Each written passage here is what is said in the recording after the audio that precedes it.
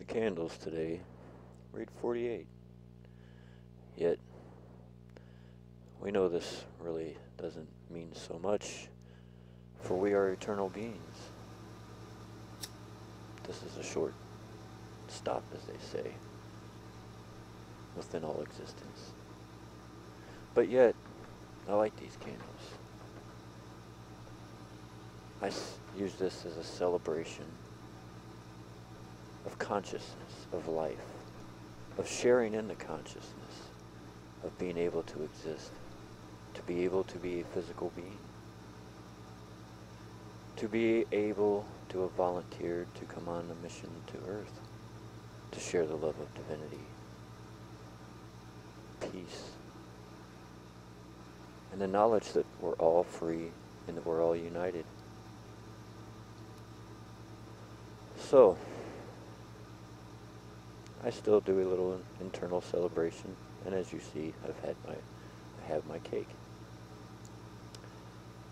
I don't light the candles to blow them out and so much as a wish, as I've discovered that I don't need to make wishes. I may be 48, but I'm still nine internally. A nine-year-old boy that always knew that the imagination was not just the imagination. That there was some powerful force going on within that whole thought pattern that they call the imagination. A magical way of bringing things into existence. So, for the sake of that purpose, I shall replace the word with wish with manifest. So today, or yesterday, as I am now making this video, I awoke,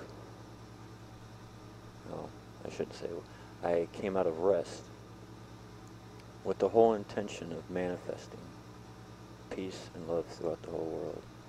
Not manifesting a great celebration of the personality or the ego that is me, but an internal celebration of all things. An eternal celebration of the mission in which I came to be the highest,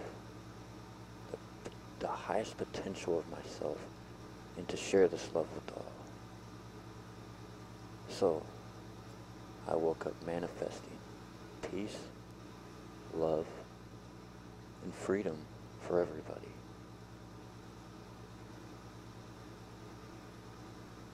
So, as I said, I don't say wish, but what would I like for this birthday? What would I like for any day? For all to be able to feel, not just hear this message, but to feel this in the deepest depths of their heart. To not just feel and listen and go, Dana, I hear you. But to literally feel the depths of the divine coming through me. To be able to listen and just feel that that we call God, source creation. That's what I want for this day. I want you to feel God through my words, your creator, all people connected. I want you to feel Christ consciousness, universal consciousness through my words today. I want you to know that you are free and that I love you. Peace be with you. Namaste.